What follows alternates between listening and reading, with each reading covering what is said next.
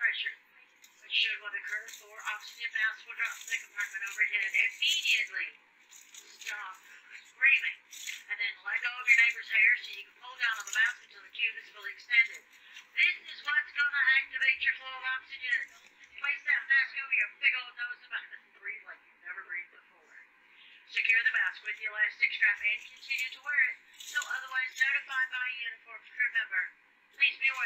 plastic bag may not replace however you are receiving oxygen. For any of you traveling with children or others needing assistance, and ladies, if you're with your husband, you could very well be in this category. Put your mask on first and help your husband. There's a darn good chance he ain't listening to me anymore he does you. Y'all sit back.